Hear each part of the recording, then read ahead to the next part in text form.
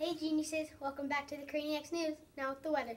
Today's weather will be a high of 84 degrees and a low of 57 degrees Fahrenheit. Today's gonna change from hot to cold. I bet you're wondering whether to pack a lunch or buy a lunch tomorrow, so here are the lunch choices. French market combo, cheese and pepperoni pizza, and a tuna fish sandwich. Congratulations to all the STEM Fair finalists going on to district. Today is National Women's History Month, to, where we're celebrating women like Malala who were super strong and changed the world.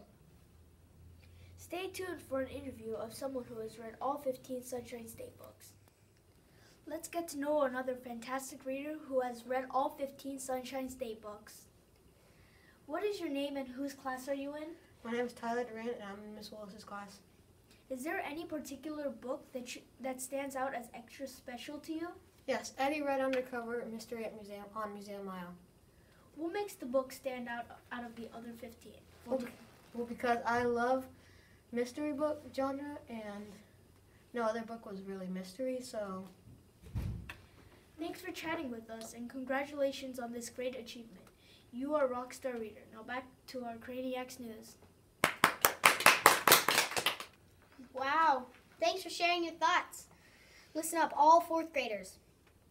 Fourth grade field trip is tomorrow, so remember to listen to your teacher for your directions. Thanks for tuning in on the Craniacs Craniacs, news. Have a thrilling Thursday.